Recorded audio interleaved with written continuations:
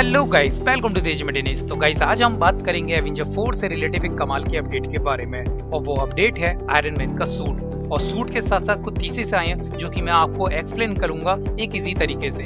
आप सभी जानते हो कि अभी हाल ही में एवेंजर फोर से पहले काफ़ी सारे कॉन्सेप्ट आर्ट लीक हुए, जो कि थे कैप्टन मार्वल मूवी के और एवेंजर 4 के, जिसमें कि हमें सबसे पहले कॉन्सेप्ट आर्ट देखने को मिला? निक फ्यूरी का कैप्टन मार्वल का, जिसमें कि वो कमाल की जैकेट पहनी हुई है और ये एक आइकॉनिक कैरेक्टर भी बनने वाला है, क्योंकि कैप्टन मार्वल एक पहली फीमेल सुपर हीरो है। उसके बाद एवेंजर फोर को ले लो तो एवेंजर फोर में हमें देखे Hawkeye War Machine Rocket Nebula Thanos Thanos का न्यू आर्मर वॉर मशीन का न्यू आर्मर और थैनोस का न्यू वेपन जो कि काफ़ी कमाल का है। और इस वेपन को देखकर तो लग रहा है कि थैनोस बवाल मचाने वाला है। और देन उसके बाद हमें हल्क और प्रोफेसर हल्क भी देखने को मिले।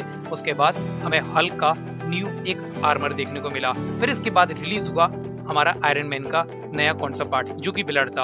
अब ये काफ़ी लोग कह रहे हैं कि ये आर्मर है, वो है क्लासिक वन यानी कि वॉल्यूम वन का आर्मर तो मैं आपको बता दूँ कि मार्वल स्टूडियो कहीं ना कहीं इसकी स्टोरी चेंज करेगा और इसे इस तरीके से दिखाएगा जो मैं आपको बताने वाला हूँ। तो थीसिस ये है, जो कि मैं आपको एक्सप्लेन करूँगा एक इसी तरीके से। मान लीजिए आप कोई शर्ट पहने हुए पूरी बाजू की, जिसमें से कि एक बाजू और एक ऊपर से टोपी निकल जाए तो आप क्या करोगे?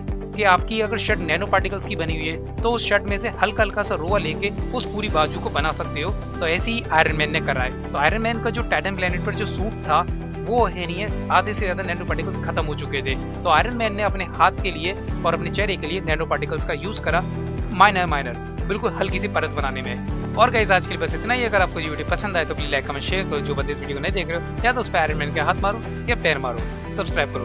बाय बाय जा रहा hello